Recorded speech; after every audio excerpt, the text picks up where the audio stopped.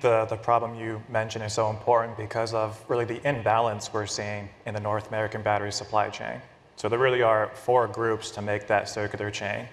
There's the production of the battery metals, then the refining of the metals, the cell manufacturing, and then the end use, such as vehicle manufacturing. And in the US and North America, we're seeing huge investment in new capacity for electric vehicle facilities, huge investment for new cell manufacturing facilities, and then extremely little for battery metal refining and battery metal sourcing. So as we move to a closed loop supply chain, you really need to have the throughput of each of those four groups balanced. And the way North America is moving right now, these very large investments in these cell and vehicle factories are almost 100% reliant on foreign source metals and refining capacity. So it makes for a very big security of supply risk.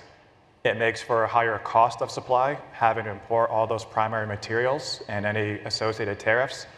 And it increases environmental impact of those materials by having less visibility to the initial mining operations and then the increased transportation.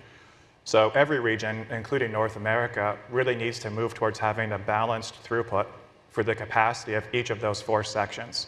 And the battery metals includes both recycling capacity and primary metal harvesting capacity. So American Battery Technology Company, we're excited to be doing both of those unit operations.